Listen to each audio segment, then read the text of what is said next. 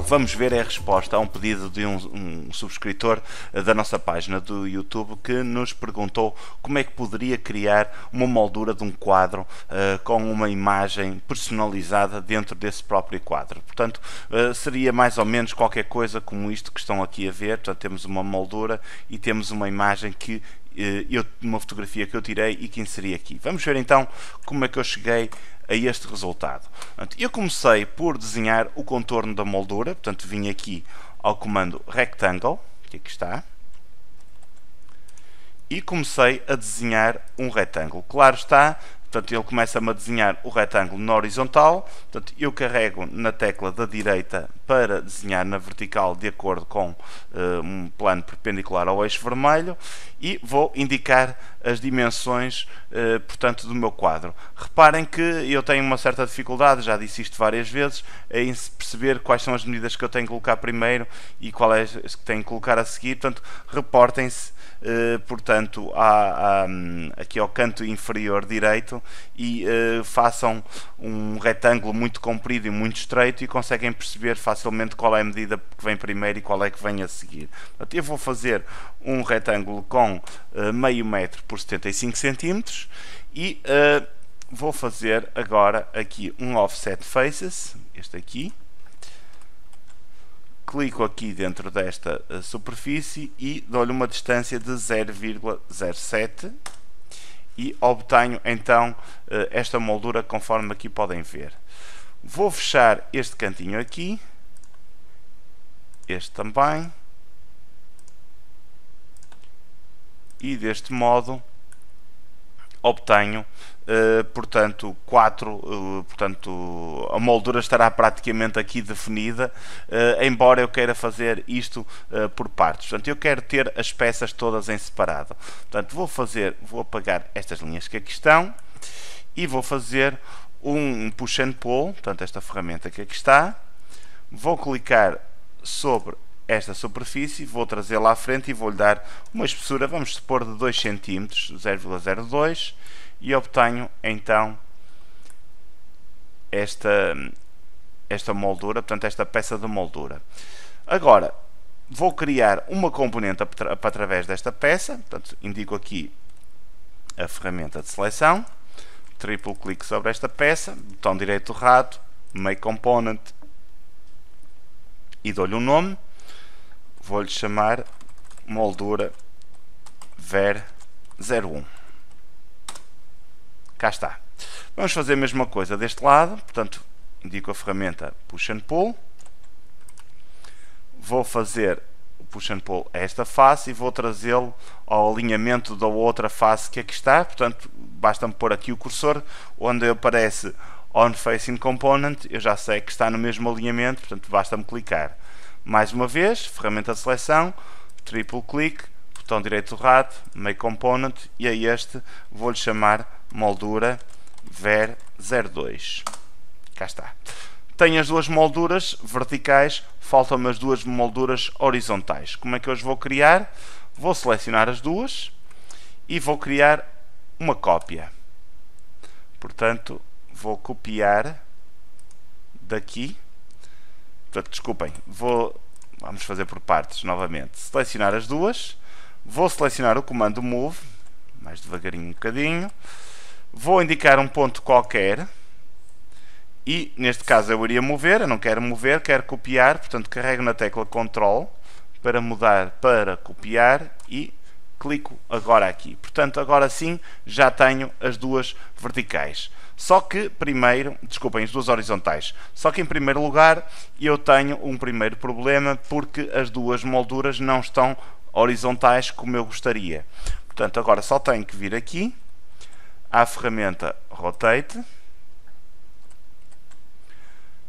fazer uma rotação de acordo com o eixo vermelho, para isso clique na tecla da direita para ele só me permitir fazer rotações de acordo com o eixo vermelho, reparem que o eixo vermelho está aqui, será nesta direção que vai andar o meu eixo de rotação, e vou agora clicar neste ponto, vou indicar um ponto de referência que eu quero rodar, por exemplo este aqui, e vou agora indicar o local por onde eu quero rodar. Como eu quero rodar na horizontal, então quero que ele fique na horizontal, clico, por exemplo,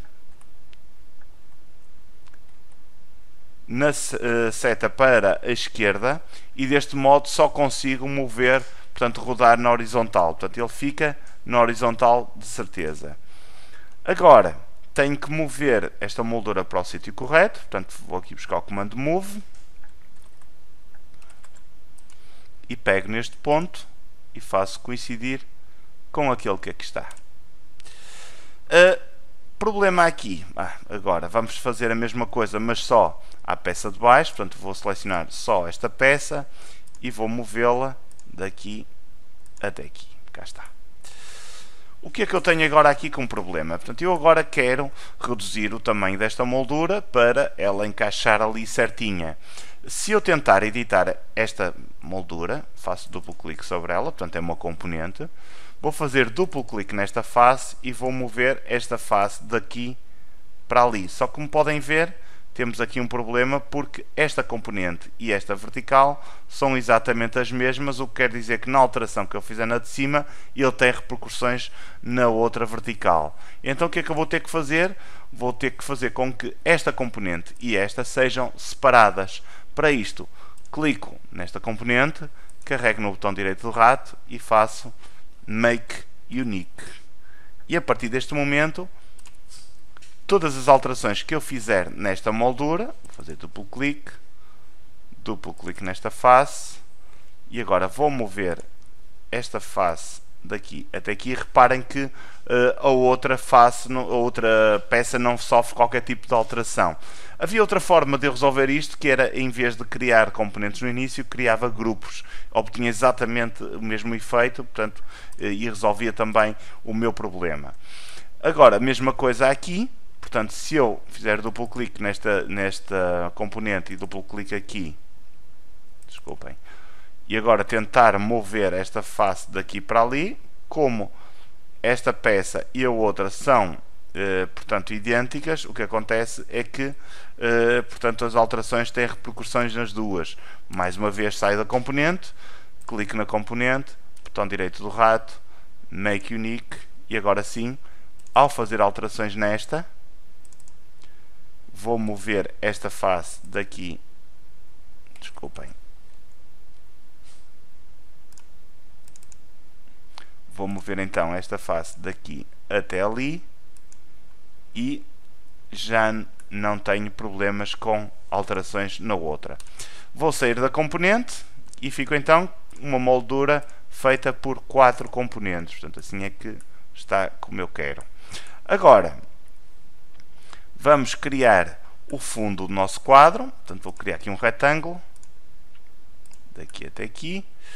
Com a ferramenta Push and Pull vou-lhe dar uma espessura, vou pôr uma espessura de 5 mm, 0,005 no meu caso se eu trabalhar em metros, e vou também criar uma componente uh, deste quadro. Faço triplo clique, botão direito do rato, Make Component, e vou chamar a isto mesmo quadro. E agora quero lhe dar uma imagem uh, à frente. Uh, o que é que vai acontecer? Eu posso vir aqui a File, uh, Import, portanto, File, Import e ir buscar uma fotografia para atribuir ali como imagem de fundo.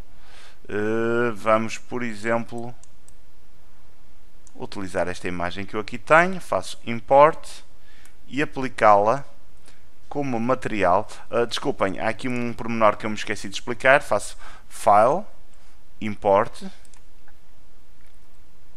E aqui onde diz Use Image As, eu tenho que explicar que a imagem tem que ser inserida como textura. Além disso, também temos que ir aqui e indicar que vamos utilizar uma imagem JPEG ou uma imagem, portanto, tudo que forem uh, All Supported Image Types, portanto todo tipo de imagens podem ser utilizadas neste modelo. Portanto, e agora sim é que eu vou inserir a minha imagem. Faço Import, indico um ponto aqui na esquina da minha imagem, do meu modelo, desculpem.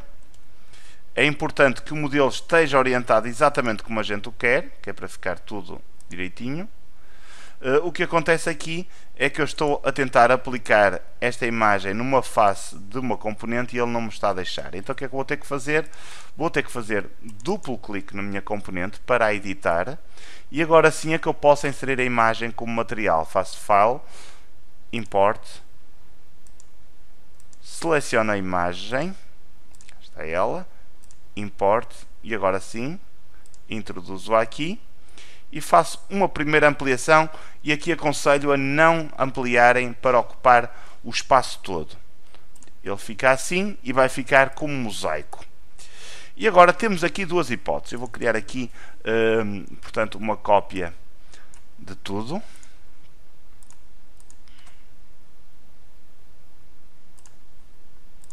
E agora temos então, dizia eu, duas hipóteses. Eu vou também transformar isto num elemento único, vou fazer make unique para termos esta face separada desta, porque senão as alterações que eu fizer aqui vão também sofrer repercussões ali. E o que eu vou fazer é uh, fazer alterar a escala da imagem para ela ocupar toda, uh, portanto, todo o espaço do, do quadro.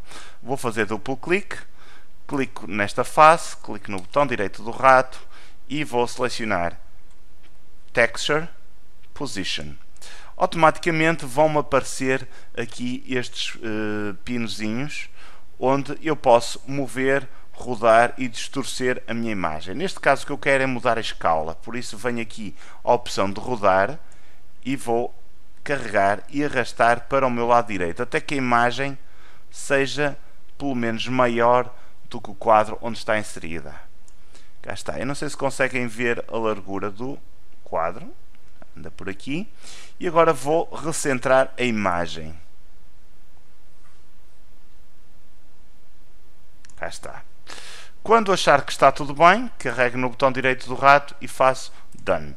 Como podem ver, eh, a imagem ficou de facto no quadro ocupa o quadro todo, mas aconteceu aqui uma situação é que eu vou ter que recortar a imagem para ela caber dentro da moldura. Podemos fazer isto de outra forma, pese embora tenham os seus custos, entre aspas, uh, o que acontece é que a imagem vai ser distorcida para ocupar o espaço todo do quadro. Como é que eu faço isso? Faço duplo clique no componente, seleciono a face cujo material eu quero editar, e agora carrego no botão direito do rato, seleciono Texture e Position. Portanto, na, uh, exatamente o mesmo que eu fiz há um bocado. Texture Position. Aparecem estes pinos, como podem ver. Só que desta vez eu não quero alterar estes pinos, portanto, da forma como fiz há um bocado.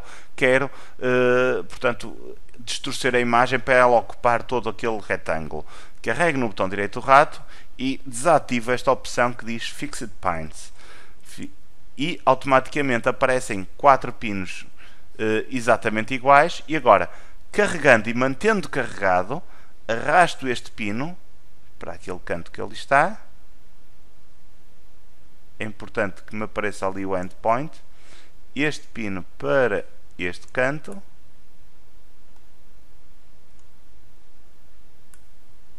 E este pino para aquele canto ali já tenho a imagem quadrada, portanto ela não foi recortada, foi distorcida.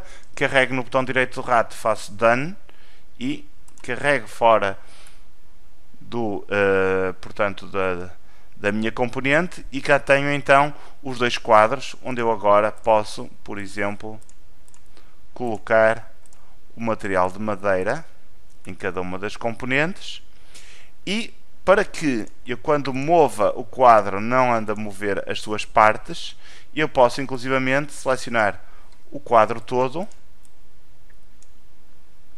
e, carregando no botão direito do rato, criar uma componente que vou chamar quadro, que vou agora utilizar aqui algumas artimanhas, vou apenas adicionar a elementos verticais, ou seja, só vamos pôr poder pôr o quadro em paredes, faz todo sentido, e depois, quando ele diz Set Component Axis, eu vou indicar a localização do meu eixo, vou indicar o X, o vermelho para aqui e o verde para ali, faço Create,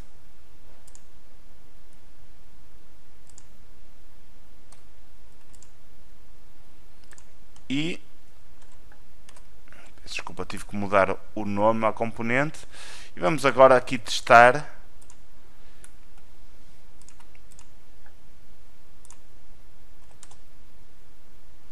Não correu lá muito bem a parede, mas não interessa, acho que dá para perceber. Vamos supor que eu teria agora aqui uma área onde queria colocar um quadro. Vamos aqui à minha componente.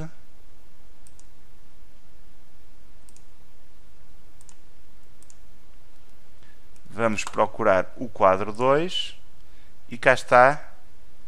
Eu posso agora introduzir automaticamente os meus quadros na parede onde eu assim desejar.